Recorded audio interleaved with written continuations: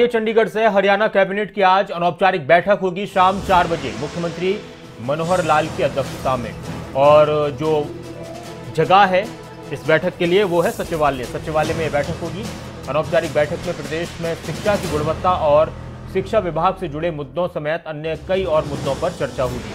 बैठक में ट्रांसपोर्ट विभाग पर भी पिछली बार चर्चा हुई थी और इस बार खासतौर से जो फोकस रहेगा वो शिक्षा विभाग और शिक्षा के स्तर को किस तरह से बेहतर किया जाए कहाँ कहाँ पर दिक्कतें आ रही हैं?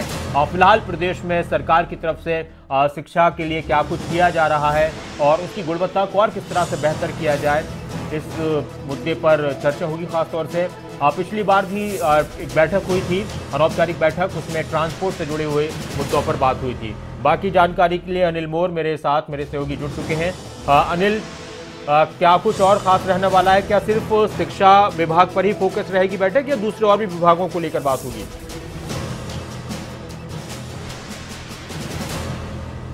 अनिल आप मेरी आवाज़ सुन रहे हैं? अनौपचारिक बैठक रहने वाली है। पिछली जो अनौपचारिक बैठक थी, उसमें ट्रांसपोर्ट विभाग पर चर्चा हुई थी और आज की जो कैबिनेट बैठक है, इसमें शिक्षा विभाग पर चर्चा होने है। जो शिक्षा की गुणवत्ता है, जो शिक्षा विभाग से जुड़े हुए दूसरे मुद्दे हैं, इन तमाम मुद्दों पर आज की बैठक में चर्चा की जाएगी। डीसीसीएम दूसरे साल समेत जो तमाम मंत्री है, आज की बैठक में मौजूद रहेंगे।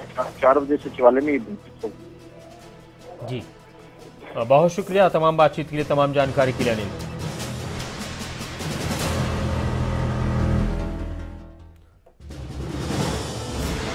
शिक्षा विभाग से जुड़े अन्य मुद्दों पर भी चर्चा होगी। इसके अलावा यह अनौपचारिक बैठक है, शाम चार बजे सचिवालय में ये बैठक होनी है। पिछली बैठक में ट्रांसपोर्ट विभाग को लेकर चर्चा हुई थी कि किस तरह से ट्रांसपोर्ट की सुविधा को बेहतर किया जाए प्रदेश के अंदर और क्या कुछ उसमें किया जा सकता है।